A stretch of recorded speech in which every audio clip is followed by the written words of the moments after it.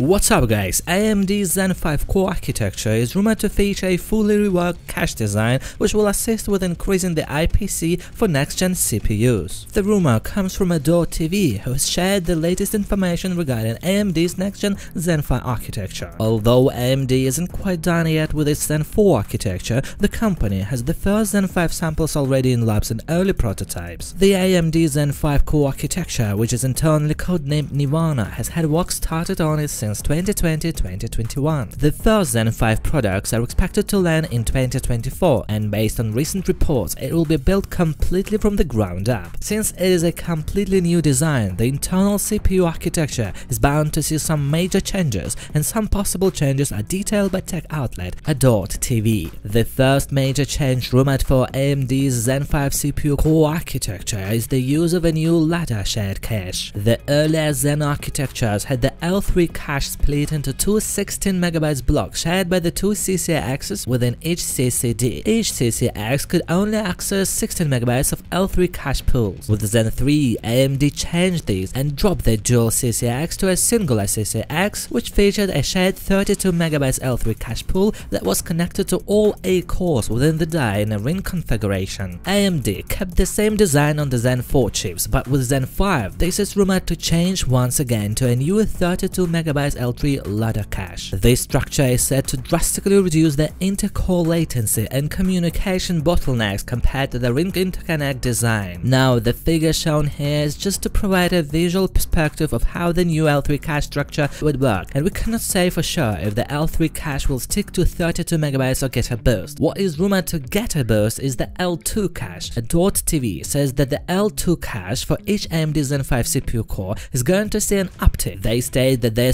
sources have pointed to AMD having both 2MB and 3MB L2 cache per core chips in its labs, but they may or may not be Zen 5 parts. In the case that they are Zen 5 chips, this will be a 2x and 3x boost respectively over the 1MB cache per core featured on the existing Zen 4 cores. This increased cache on the AMD Zen 5 CPU cores can also directly benefit the IPC with a 2MB L2 cache per core offering up to 4% IPC gains and a 3MB L2 cache per core offering a 7% IPC gain. The gains are evaluated in multi-threaded workloads, and single-threaded workloads might yield a 1% or marginal IPC benefits. Latency will not be affected by the addition of more cache per core as mentioned, though all of this is something that needs to be tested and confirmed when the chips launch and that is still a year away from now. AMD has so far confirmed that the new Zen 5 architecture will launch in 2024. The Zen 5 CPUs will come in three flavors, Zen 5, Zen 5 V-Cache and Zen 5C, and the chip itself is designed from the ground up with a completely new microarchitecture that focuses on delivering enhanced performance and efficiency, a repipelined front-end, and wide issue along with integrated AI and machine learning optimization. The architecture will power more than one CPU family, including the Ryzen 8000 Granite Ridge for desktops, Ryzen 8000 Strix Point and Fire Range for mobile, and EPYC Turin for service next year.